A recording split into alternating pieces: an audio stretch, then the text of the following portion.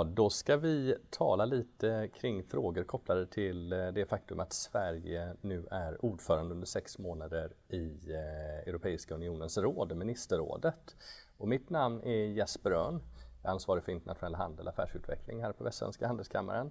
Och med mig har jag vår expert Peter Hellman kopplat till export importtekniska frågor av alla slag. Och först bara kring eh, just det faktum att vi är ordförande i Europeiska unionens råd. Vad innebär det? Ja, I korthet kan man säga att vi under den här perioden, som alltså är ett halvår, vi kan eh, lite lyfta de frågor som vi tycker är absolut viktigast för oss. Eh, vilken riktning vi vill att EU ska ha, vilken utveckling och från Västsvenska handelskammarens perspektiv då är det naturligtvis näringslivet i fokus.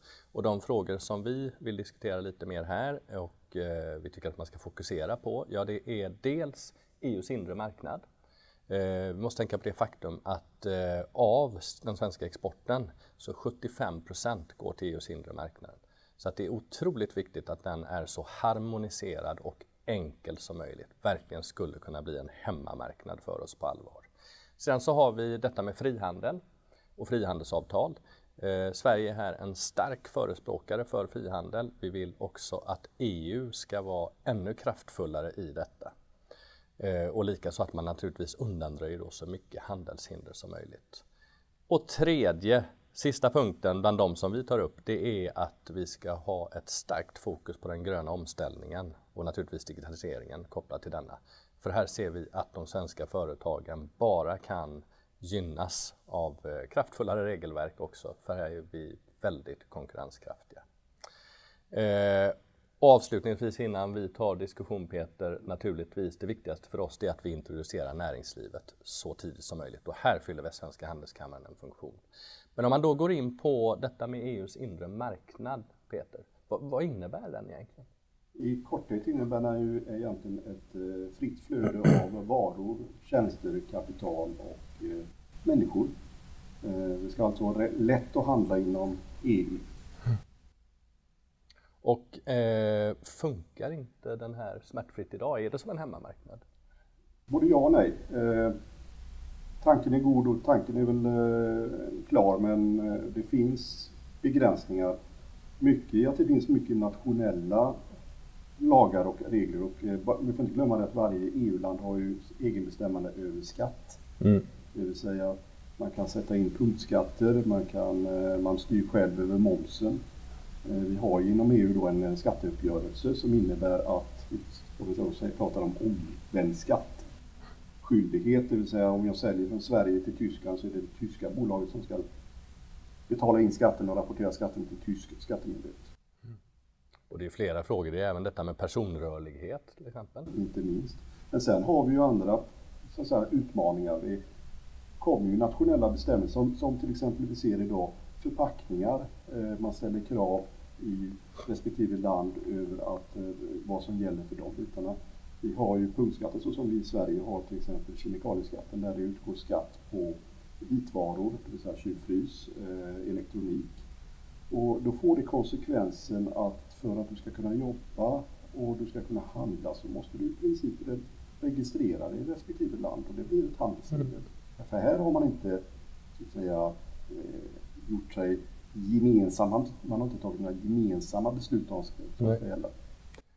Och då går vi in på nästa punkt och det är frihandelsavtalen. Hur viktigt är det med frihandelsavtal? För oss, för Sverige, är det jätteviktigt. Eh, ett frihandelsavtal underlättar ju handeln och ett frihandelsavtal funkar ju på det sättet att EU, det är ju inte Sverige längre utan det är EU som träffar avtalet, träffar avtalet med landet i fråga eller regionen.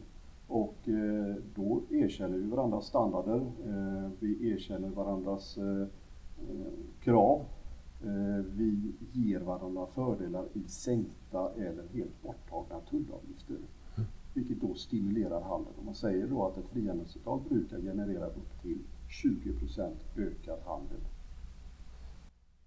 20% ökad handel, ja det är rejält så att det betyder verkligen någonting. Men, men eh, om man också då ser till vad, vad, vad, skulle vi vilja att man fokuserar då på? gällande frihandelsavtalen? För vi har ju rätt många frihandelsavtal på gång och även sådana som är på gång att ratificeras. Ja, först och främst att vi ratificerar redan överenskomna avtal. Det finns mm. ett avtal med Mercosurländerna, det vill säga Argentina, Brasilien, Uruguay och Paraguay. Eh, som endast, man väntar på underskrift och de som har vägrat underskrift här det är Frankrike och Österrike. För man hävdade då att så länge Jair Bolsonaro, det vill säga den förra presidenten, satt på sin plats så ville man inte signera på för han skövlade Amazonas. Nu är han borta så nu får vi hoppas att de verkligen skriver på det här avtalet.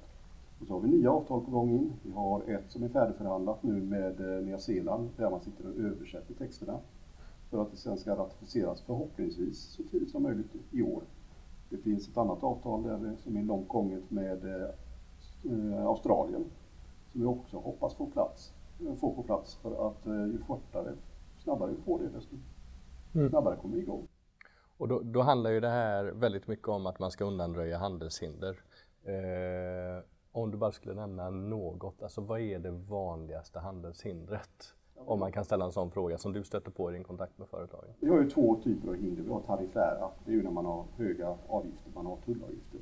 Och så har vi icke-tariffära. Och icke-tariffärt är ju till exempel standarder. Eh, att vi inte erkänt varandras olika standarder i det fallet. Eh, det kan finnas andra eh, krav såsom eh, godkännanden, licensiering etc. Mm. Och det ställer till bekymmer. Det jag vill flika in när det gäller just EU som är lite utmanande det är att vi är ju inte riktigt alla våra 27 medlemsländer på samma bana. Sverige är ju verkligen ett av de länder som driver frihandel. Vi tycker att frihandeln, det gynnar oss alla. Mm. Medan vi har en annat gäng som leds till stor del av Frankrike, eh, även Italien, Spanien är med på den, som är anti frihandel. Det är klart, de kan ju säga det med tanke på att de har så stora inre marknader. Men vi gynnas av den fria handeln. Sen tredje punkten, eh, som sagt det är om grön, eh, grön, den gröna omställningen och digitaliseringen kopplat till denna. Här ser vi ju att eh, politikerna sitter lite i baksätet faktiskt. Det uttrycks av eh, industrin och näringslivet själv. Och vår roll på Västsvenska Handelskammaren, ja, det är att vi ska föra näringslivets röst och att vi ska göra er hörda så tidigt som möjligt. Vi har ett exempel på det, det är att vi har Market Access Day här på Västsvenska Handelskammaren den 15 mars. Och då kommer EU-kommissionen inom handel eh, hit, likaså Kommerskollegium, eh, vår eh, nationella myndighet för handel och representanter från UD. Så att då har ni verkligen möjlighet att göra er röst hörd. Eh, så att med det så eh, tackar jag så mycket. Tack till er som lyssnar och tack Peter.